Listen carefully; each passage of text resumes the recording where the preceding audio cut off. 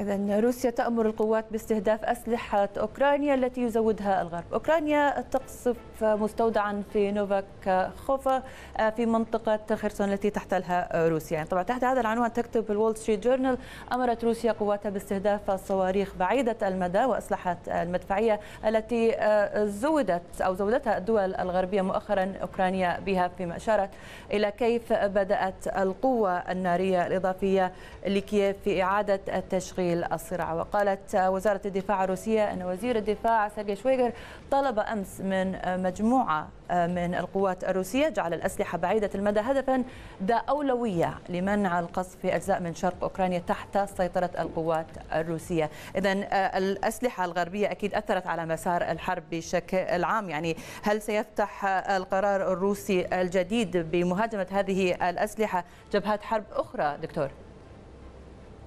مهاجمة الأسلحة الغربية أو قصف الأسلحة الغربية هي رسالة من موسكو. رسالة للمرسلين لمن أرسل هذه الأسلحة وتدل على أن هذه الأسلحة فعالة وقد تقلب موازين الحرب. فهذه هي الرسالة الأولى أو المؤشر الأول لماذا قصفت هذه الأسلحة. الأمر الآخر هي رسالة أيضا للغرب باننا سندمر جميع ما سترسلونه، سنقف بالمرصاد لهذه الأسلحة وندمرها، الآن ننتظر أن لا تدمرها في ميدان المعركة الأوكراني لكن تدمرها في أثناء وصولها من بولندا، فهذا السيناريو محتمل آخر.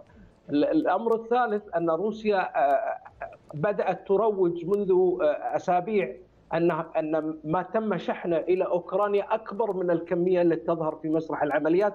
وكأنها تخون الأوكرانيين بأن هناك عمليات فساد في بولندا وفي أوكرانيا أنه يتم بيع هذه الأسلحة الغربية ولا تصل أصلا إلى ميادين المعركة مما يثير الشارع الغربي ضد أوكرانيا أين ذهبت الأسلحة التي نرسلها إليكم؟ فهي حملة روسية على هذه الأسلحة بثلاث طرق كما أشرنا إليها.